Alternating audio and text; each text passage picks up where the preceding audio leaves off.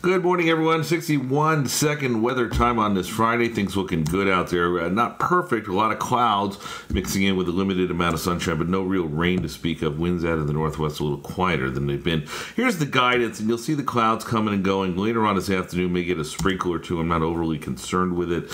What we are going to find is uh, just the clouds winning out into tonight. By tomorrow morning, start, things start to dissipate a little bit, setting up for a lot more sunshine for Saturday, uh, but cooler temperatures. But even with those cooler temperatures, we're going to stay above normal as we head into the weekend. Upper 50s at the shore, lower to mid 50s uh, inland, really nice, uh, running about 10 degrees above normal. Clouds remain uh, late into the uh, evening, they'll, they'll dissipate a little bit down to 36. Here's your seven day forecast. Temperatures uh, in the low 50s for the next couple days, partly cloudy for Saturday, lots of sun for Sunday, but the rain back in play beginning on Monday, and that sets cooler temperatures coming back.